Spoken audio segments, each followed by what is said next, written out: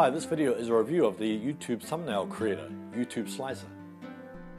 Herman Drost, DrostDesigns.com. Do you want to get more views on YouTube? Do you want to create eye-catching thumbnails online? Do you want them to stand out from your competitors? YouTube automatically generates three thumbnails for your video. Usually they're pretty crappy, so it won't encourage people to click on your image to view your video. As a result, you'll lose views and traffic to your competitors.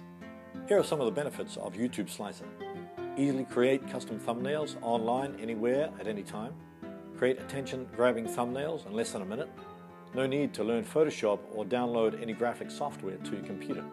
Receive ready-made templates. Receive a variety of eye-catching backgrounds. Let me show you how to make a custom thumbnail with YouTube Slicer in less than a minute. First you log in to YouTube Slicer, click Start using your slicer, and we're going to select a background image from a desktop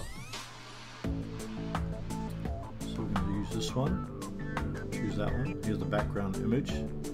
Then we'll select uh, another image of a face, put that here, and we'll enlarge it a little. Okay, that looks fine. Then we'll uh, add some text.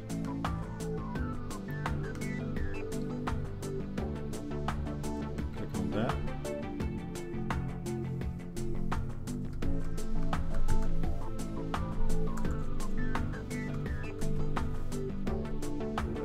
Text there. And we can enlarge it a little.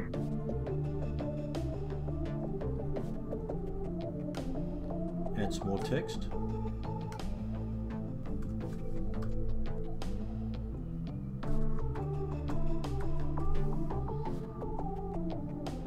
Move the text a bit there.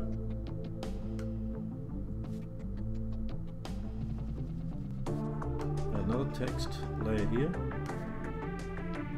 position it.